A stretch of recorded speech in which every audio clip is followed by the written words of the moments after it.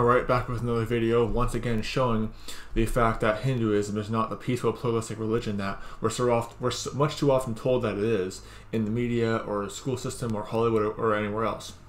The truth of the matter is that Hinduism is every bit as violent and bloodthirsty as the satanic false religion of Islam. So, I'm going to read this article once again further proving my point on the matter.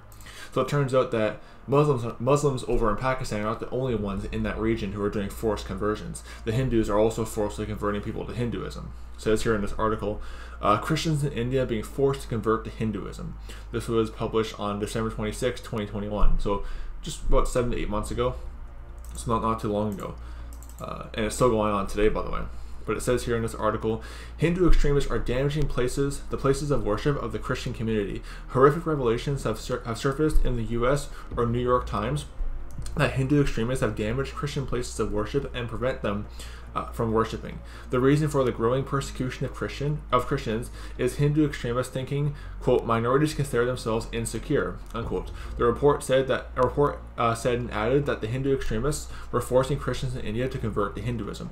They want to remove us from society. A Christian farmer said of Hindu extremists, rising attacks on Christians are part of a broader shift in India in which minorities feel less safe. The New York Times revelations further said anti Christian vigilantes are sweeping through villages, storming churches, burning Christian literature, attacking schools, and assaulting worshippers. In many, case, the poli- many cases, the police and members of India's governing party are helping them. Government documents and dozens of interviews revealed that uh, uh, in church after church, the very act of worship has become dangerous despite constitutional protections for freedom of religion. Well, it doesn't matter to the Hindu extremists because just like the Muslims, just like the Jews, just like the Papists, they want an earthly theocracy. There is no liberty of conscience or freedom of religion under a Hindu theocracy, a Jew theocracy, a Muslim theocracy, or a papal, a papist theocracy. Because they're all trying to build earthly kingdoms. And what, what do you know about kingdom builders? Well, they're bloody killers. That's what they are. Kingdom builders are always bloody killers. But it says here, continuing on the article, facing death, Christians began to identify themselves as Hindus. Uh, Hindu extremist lawyers have repeatedly lodged complaints to shut down a Christian run charity, with Hindu extremist uh, Prime Minister Narendra Modi massacring Muslims also silent on the genocide of Christians. Uh, the newspaper further added that the international community has, has serious concerns over the silence of the Indian Prime Minister over atrocities against the minorities.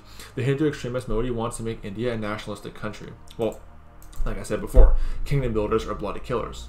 That's what, gets, what that's what it gets down to. The, the Jews, the Muslims, the Papists, and the Hindus are all the same Antichrist spirit.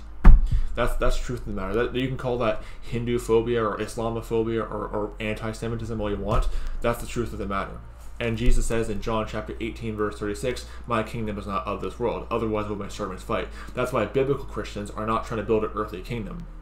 Because again, they're bloody killers. They would fight. So anyway, we wanted to point that out. Hinduism is not a peaceful, pluralistic religion. Hinduism is every bit as violent and bloodthirsty as the false religion of Islam. That's the truth of the matter. You can like it or lump it, but as Ben Shapiro would say, facts don't care about your feelings. So anyway, may the grace of our Lord Jesus Christ be with all the brethren. Goodbye.